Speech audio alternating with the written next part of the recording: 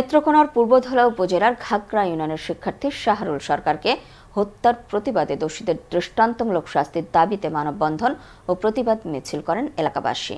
নিহত শাহরুল সরকার ইউনিয়নের বহুলি গ্রামের মৃত মুসলিম উদ্দিন সরকারের ছেলে।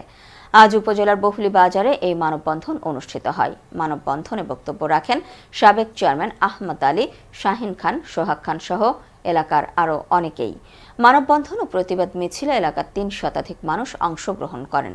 গত তিরিশ নভেম্বর জমি সংক্রান্ত বিরোধের জেরে প্রতিপক্ষের হামলায় শাহরুল সরকার নিহত হন। এ ঘটনায় উভয় পক্ষের অন্ততপক্ষে বারো জন আহত হন।